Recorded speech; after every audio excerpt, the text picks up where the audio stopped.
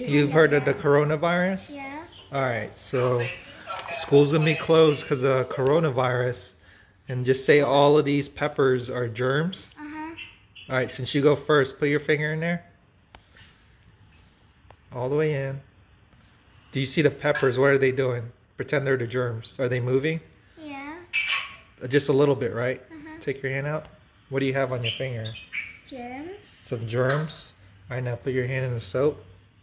Keep it there. Smooth it around like you're washing your hands. All right, now put it in the germs.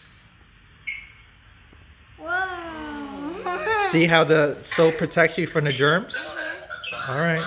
Yes, we are. Who wants to go next? Me.